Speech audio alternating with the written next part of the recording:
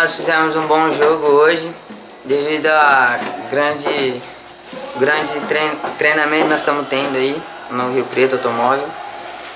E começamos bem a Copa Rio Preto, ganhando de 3 a 0, acho que foi.